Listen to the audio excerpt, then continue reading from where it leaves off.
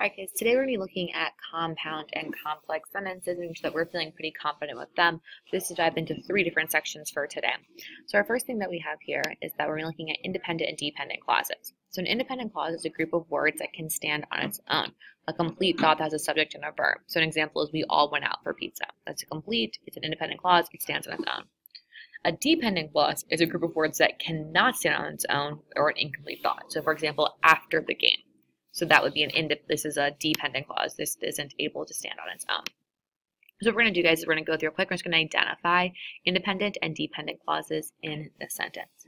So what I would like for you to do is I want you to figure out in sentence one, what is the independent clause, what is the dependent clause. Uh, very in sentence two, figure out what is the independent clause, what is the dependent clause.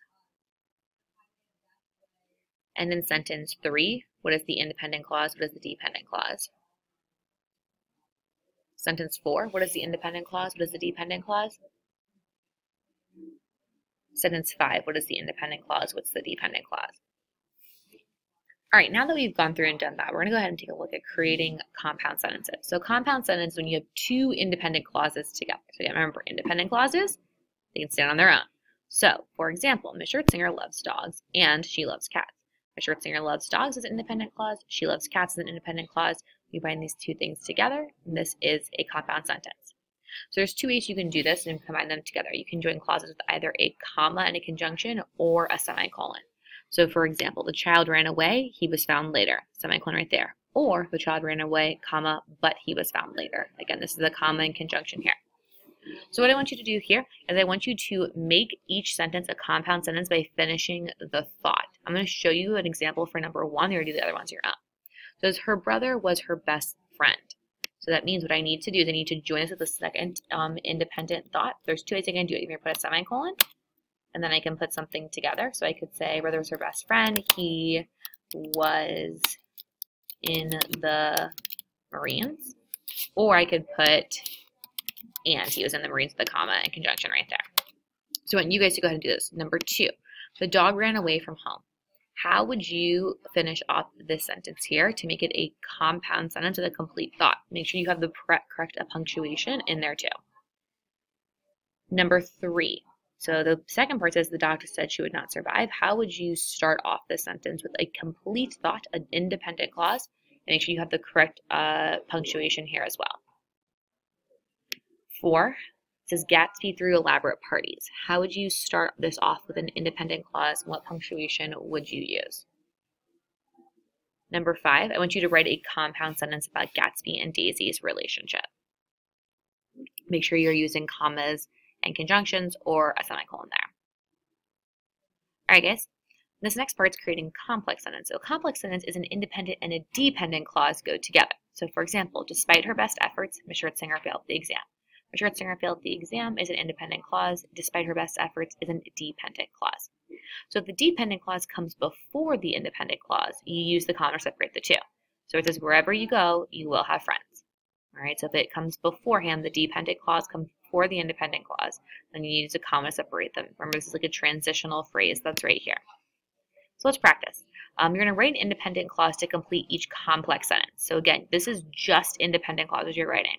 So for example, it says wherever you go, and you'd answer this, wherever you go, you will have friends. So let's go ahead and do this in number one. Since I am hungry, finishes out with a com or an independent thought. Number two, although I'm late, finishes out with an independent thought. Now what you're going to do is you're going to go on and you're going to write a dependent clause to complete each complex sentence. Use the connecting words if you need to. So after, when, because, or since. You can do that. So for example, up here it says he was still friends with them, but it says answer after 20 years, that's what you put here, he was still friends with them. So number six, go ahead and write a dependent clause to start off here. Where it ends, it says we will have to go home. Number seven, please write a dependent clause here and finish off with independent clauses. All right, guys, so we're going to go ahead now and test your knowledge, and we're going to see how you did with this. So it says ice cubes begin to form in the water. Uh, in the water freezes. It causes uh, molecules to bond into a square shape. Oh, sorry, it says ice cubes begin to form um, when ice cubes form when water in the sorry, I should say. I was like, what is going on with this? When the water in the jar, there you go, freezes, it causes molecules to bond into square shape. So looking at it here, should it be freezes causing, freezes comma it causes, or freezes this causes? Go ahead and figure out how you would like uh, to answer this question. What's the correct punctuation here?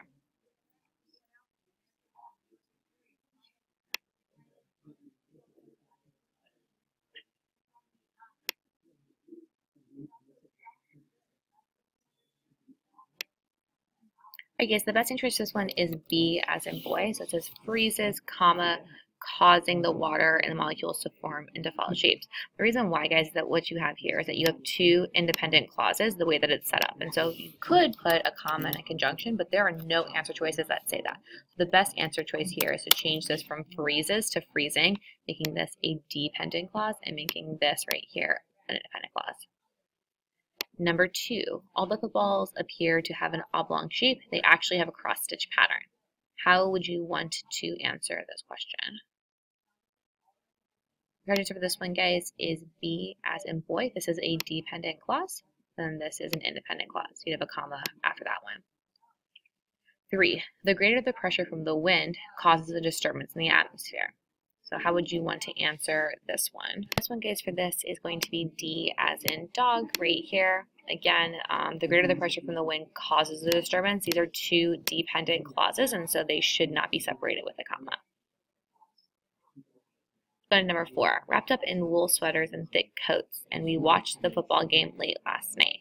What do you think the best answer choice for this one is here?